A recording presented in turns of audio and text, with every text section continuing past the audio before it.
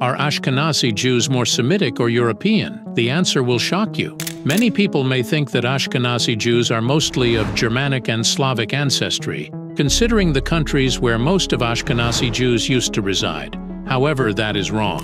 According to most studies regarding Ashkenazi Jewish genome, Western and Eastern European admixture is between 15 and 25 percent. The bulk majority of Ashkenazi Jewish ancestry is Levantine Semitic and Southern European and according to different studies, each component has a high range from 30 to 60 percent.